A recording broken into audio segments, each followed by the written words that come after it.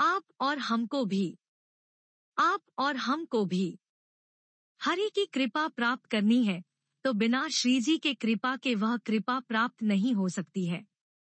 वृंदावन के जो रसिक महानुभाव है, वह कहते हैं कि जीवन में कितनी भी कड़वाहट हो, जीवन में कितना भी बाधाएँ हो, लेकिन जैसे कोई कड़वी दवाई हो आपसे। पी नहीं जा रही तो क्या करना चाहिए? या तो उस दवाई के साथ कुछ मीठा खा लो या दवाई खाने के बाद थोड़ी सी मिश्री खा लो, शक्कर खा लो तो क्या होगा? बोले, जो कड़वाहट थी, वह मिश्री खाते धीरे धीरे अब उस कड़वाहट को मिटा देंगे। वैसे जीवन में कितने भी आपद आपत्ति, विपत्ति बाधाएँ हो, पर एक बार अभ्यास से राधा नाम की मिश्री अपनी व्याज से बोलो तो सारी विपत्ति, सारी कड़वाहट राधा नाम दूर कर देगा। इतनी शक्ति है, एक श्री राधा नाम राधा नाम को कोई सामान्य न समझे। राधा पूर्ण शक्ति, कृष्ण पूर्ण शक्तिमान दोई। वस्तु भेद न ही शास्त्रीय प्रमाण। श्री चैतन्य चरितामृत। कह रही है कि इन दोनों में कोई भेद है ही नहीं। सदा सर्वदा। राधा और कृष्ण एक दूसरे के ही पूरक है। चारों वेद बखान करे और संत मुनि तिन के मन माही यमुना यमदूत तन मारत है और भव आरत श्री राधिका रानी। भवसागर में तारने का घर। किसी में सामर्थ्य न तो वह एकमात्र हमारी श्री राधा रानी में। और एक बात और सुन लीजिए। अभी थोड़ी देर पहले मैंने बात कही थी न कि आप उनकी शरण में जाओ तो पिछला सारा हिसाब मिटा देते हैं कि चलो कोई बात नहीं पीछे जो गलती करे। कृष्ण कहोगे तो पिछला पूरा हिसाब मिटाएँगे।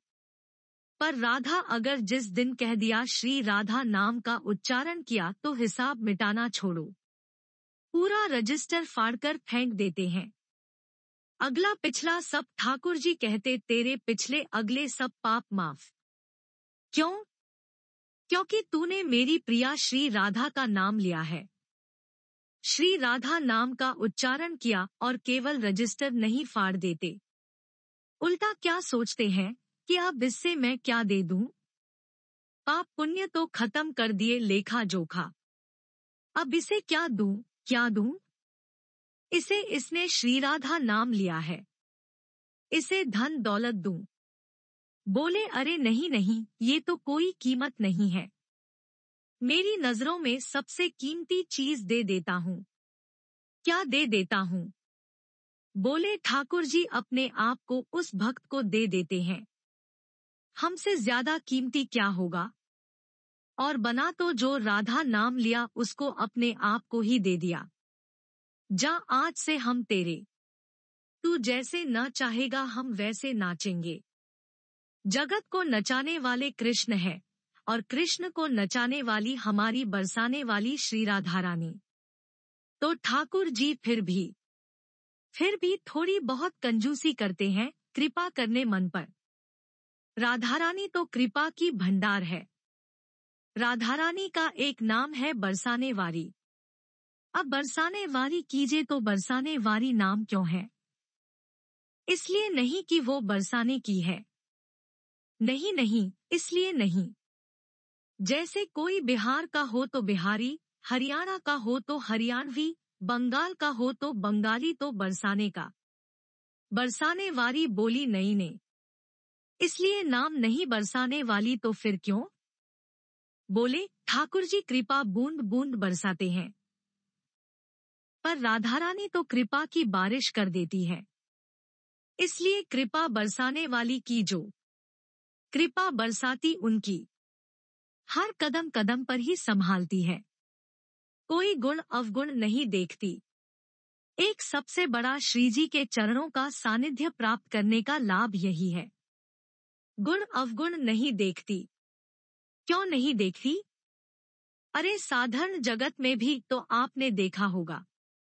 साधारण जगत में कोई बालक ऊपर से नीचे तक गंदा मैले कपड़े पहना हो तो पड़ोसी क्या कहेंगे? अरे दूर दूर कैसे गंदे कपड़े पहन कर आए हैं। भाई बहन भी कह देंगे, अरे नाले पहले पर जो माँ होती है, वह जैसे देखती है, खूब गंदा है। ऊपर से नीचे तक मैला है।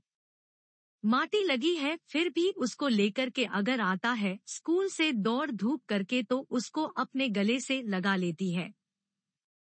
वह नहीं सोचती कपड़ा गंदा है कि नहीं, गंदा है, वैसे ही मन भी गंदा हो, जीवन भी गंदा हो। पर एक बार राधा रानी को कोई दास्ता स्वीकार कर ले, कह दे, मैं आपका हूँ तो श्री राधा रानी उसके सब महलों को भूल के उसको अपने गले से लगा लेती है। अपने हृदय से लगा ले, इतना कृपा बरसाते।